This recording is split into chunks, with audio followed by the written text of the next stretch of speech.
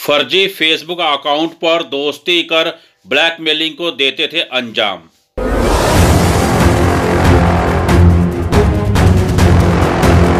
Video call के साथ adult video जोड़कर मांगते थे रंगदारी।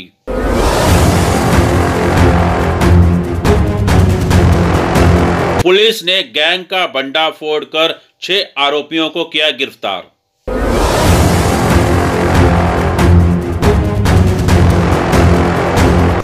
दिल्ली पुलिस की गिरफ्त में खड़े ये छह बदमाश भले ही देखने में भोले भाले दिख रहे हों, और आपको बता दें कि वैसे तो ये कम पढ़े लिखे भी हैं, लेकिन अगर आप इनके कारनामे जानेंगे तो आप हैरान रह जाएँगे।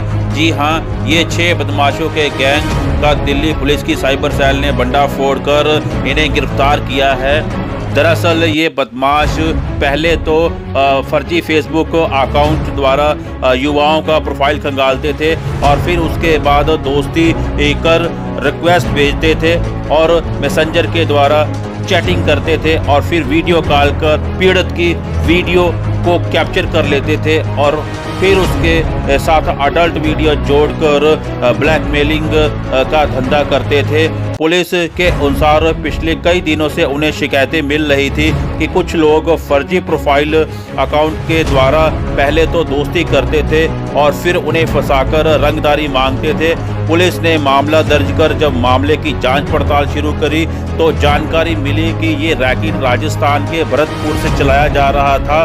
फ़िलहाल पुलिस ने गैंग का बंडा फोड़कर छह आरोपियों को गिरफ़्तार किया है। ये सभी आरोपी कम पढ़े लिखे हैं और राजस्थान के भरतपुर के रहने वाले हैं। दिल्ली पुलिस की साइबर क्राइम यूनिट, साइपैड ने एक महत्वपूर्ण कार्रवाई करते हुए भरतपुर राजस्थान से छः लोगों को अरेस्ट किया है। ये सारे के सारे व्यक्ति एक नए तरीके का ऑनलाइन एक्सटॉर्शन का मोटर्स प्रिंट दिख रहा था उसमें संलग्न थे।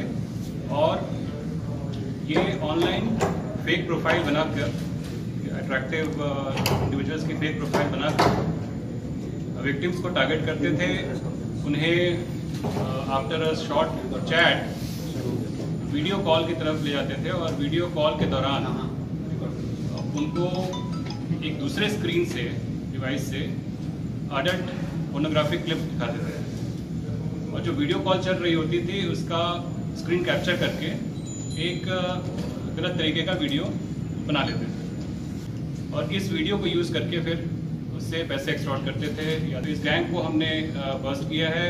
चार तारीख को मॉर्निंग में वहाँ पर हमने रेड की। भरतपुर पुलिस ने इसमें हमारा काफ़ी सहयोग किया।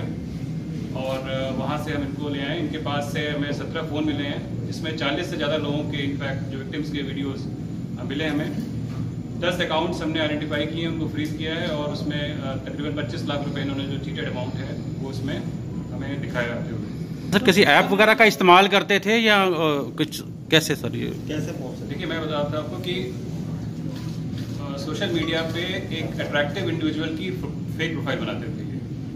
और रैंडम लोगों को टारगेट करते थे। ये बेसिकली देखते थे जो व्यक्ति है जो विक्टिम जिसको बना रहे हैं उसके प्रोफ़ाइल पे जाते थे और कई लोग ये प्रिकॉशन नहीं लेते कि अपनी प्रोफ़ाइल को कैसे रिस्ट्रिक्ट किया जाए। उसकी जो बायोग्राफी है उसका जो फ्रेंड लिस्ट है उससे उसके बारे में थोड़ी जानकारी इकट्ठा करके फिर उसको टारगेट करते थे। एक बंदे से कितना पैसा ये सर लेते थे ये? कितना समझौता कर? Depending on the profile of the victim इन्होंने ऑन एन एवरेज 10 से लेके बीस हज़ार के आसपास ये मांगते थे हर बार। और अलग अलग व्यक्ति बनके, जैसे मैंने आपको बताया कि सोशल मीडिया प्लेटफॉर्म के लीगल ऑफिसर बन के कभी पुलिस ऑफिसर बन के तो इस तरह से इन्होंने अलग अलग तरीके से लोगों को चीट किया, उनसे पैसे कि किसी भी अनजान व्यक्ति से फ्रेंड रिक्वेस्ट न एक्सेप्ट करें ऐसे किसी व्यक्ति को जिसको आप अच्छे से नहीं जानते हो उससे अगर आप फ्रेंड रिक्वेस्ट एक्सेप्ट करते हैं तो आप उसको बहुत ज़्यादा एक्सेस प्रोवाइड कर रहे हैं अपने पर्सनल डेटा को देखने का। तो जब भी आप सोशल मीडिया का उपयोग करें तो जरा रहे सावधान, क्योंकि सावधानी ही आपका बचाव है। इसी में ही आपकी सुरक्षा है। टोटल खबरें दिल्ली से राजेश खन्ना की रिपोर्ट।